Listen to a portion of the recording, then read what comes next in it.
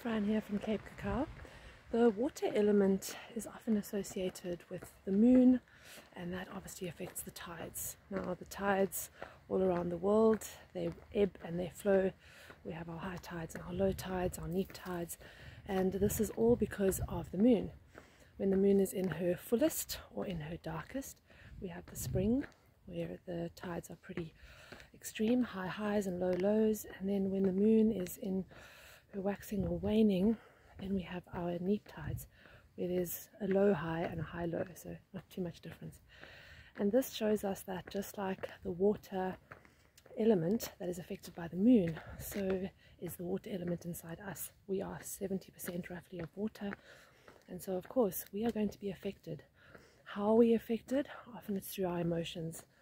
And um, I know many people, myself included, that will often be quite affected around the new moon and the full moon because this is when the actual tides in on the earth as well as the water element within us is at its most extremes. So just something to think about next time you are navigating through some challenging emotions. Maybe check in with what phase the moon is in. Um, women that are connected into their menstrual cycle will obviously know quite a bit about this as well.